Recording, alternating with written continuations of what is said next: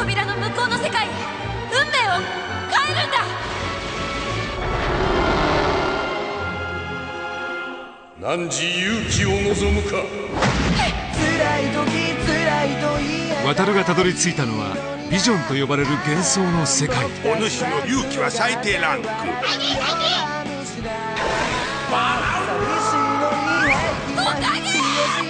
5つの宝玉が揃った時願いは叶う。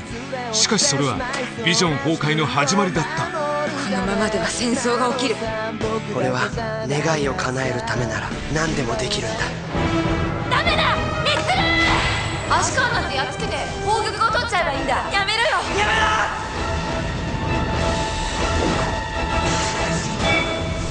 ブレイブストーリー。